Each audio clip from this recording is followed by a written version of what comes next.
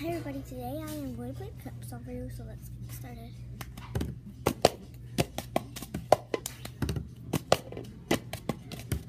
I got my ticket for the long